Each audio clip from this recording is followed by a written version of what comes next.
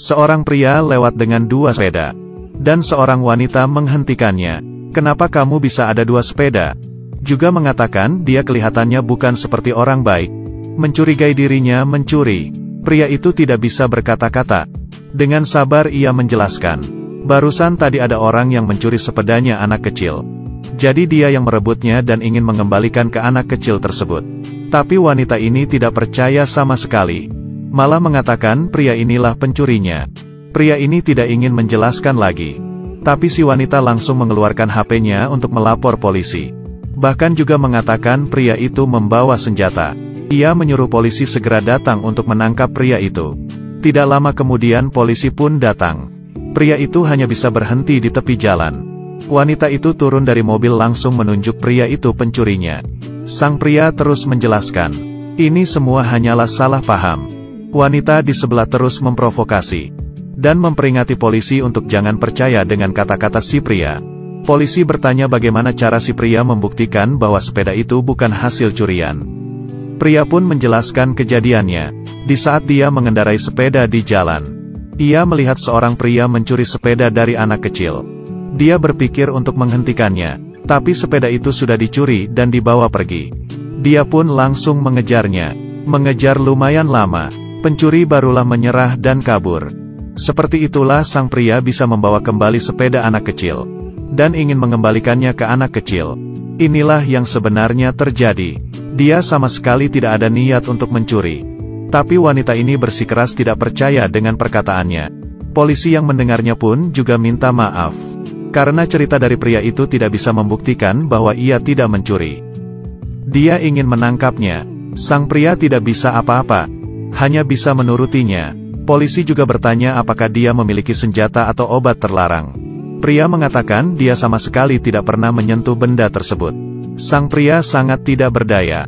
Tidak berani percaya mereka melakukannya seperti itu. Dan wanita di sebelah kelihatannya puas. Di saat anak kecil itu mendekati mobil polisi, dia melihat semuanya, dan bertanya kenapa mereka menangkap si pria itu. Dan kebetulannya adalah, wanita ini adalah ibu dari si anak kecil tersebut. Dia mengatakan ke anaknya kalau pria itu adalah pencuri. Sang anak pun menjelaskan, di saat aku pulang ke rumah, sepedanya dicuri oleh orang lain. Dan pria ini yang menolongnya.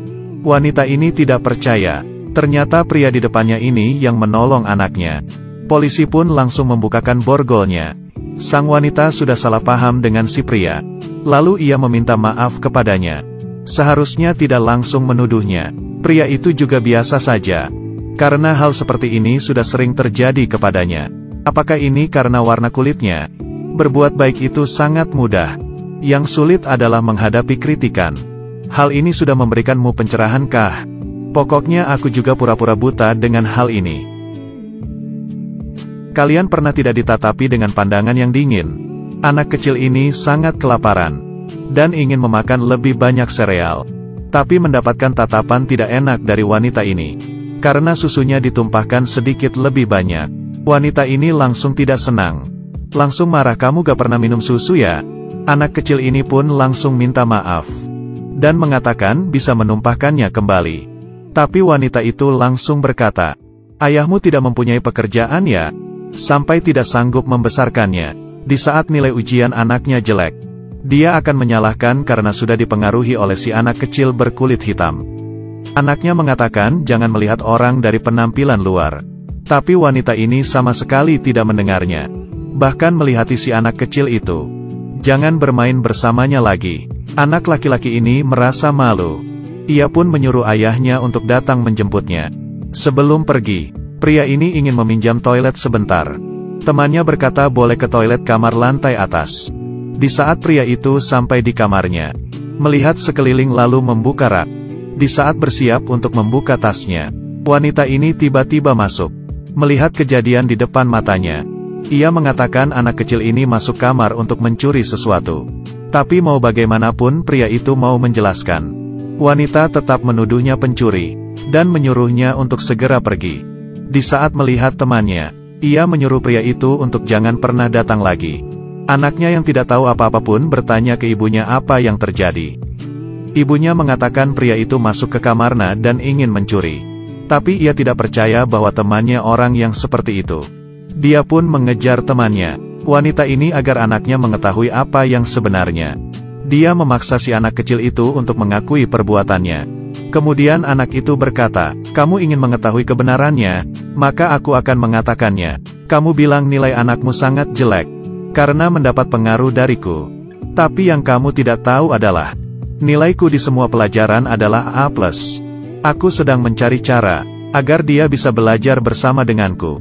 Kamu bilang orang tuaku adalah pengangguran. Tidak sanggup untuk membesarkanku. Tapi sebenarnya, ayahku adalah direktur dari suatu perusahaan besar. Kamu bilang aku sedang mencuri di kamarnya anakmu. Tapi sebenarnya, aku hanya ingin memberinya kejutan di dalam kamar. Ini adalah tablet komputer yang paling disukainya. Jadi kamu hanya melihat dari luar saja. Dan langsung mengatakan aku adalah orang jahat.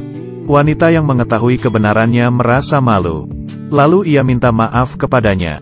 Seharusnya sebelum mengerti semua kejadian, tidak harus langsung menuduhnya.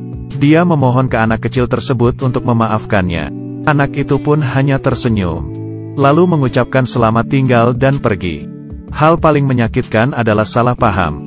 Ada kalanya sedih hingga tidak ingin melawan. Dan lebih memilih untuk diam. Kalian pernah mengalami hal seperti ini juga kah? Boleh ceritakan juga.